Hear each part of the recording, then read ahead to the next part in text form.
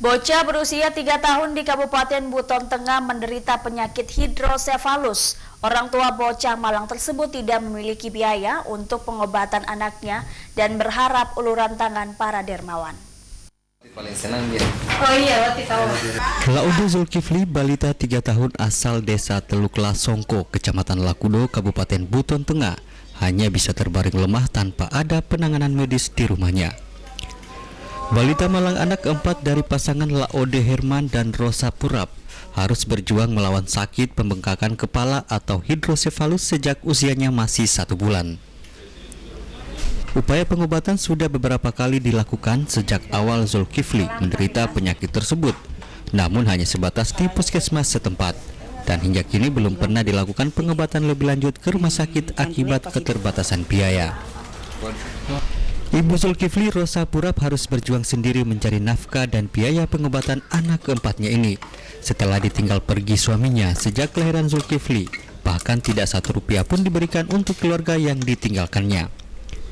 Dengan upah yang diterima dari membelah buah jambu 20 hingga 50 ribu rupiah per 2 sampai 4 hari tentu tidak akan cukup untuk mengumpulkan biaya pengobatan anak tercintanya ini apalagi upahnya itu harus digunakan untuk memenuhi kebutuhan hidup sehari-hari.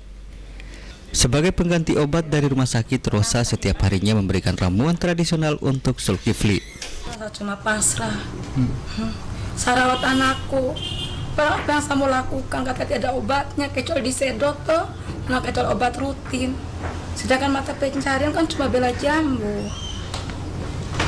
Jadi sejauh ini belum ibu lakukan sampai belum, sekarang? Belum. Dia kena sejak tahun berapa?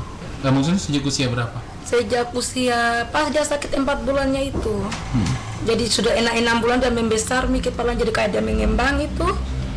Jadi kata dokter? Kata dokter kecuali disedot. Disedot. Hmm. Tapi belum dilakukan? Belum.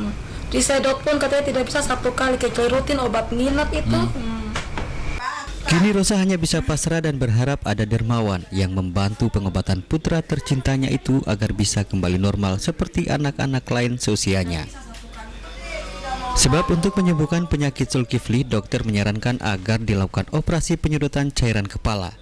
Tentunya tidak akan cukup dengan upah yang diterimanya dari pekerjaannya membelah buah jambu. Dari Buton Tengah, Andi Eba, iNews memberitakan.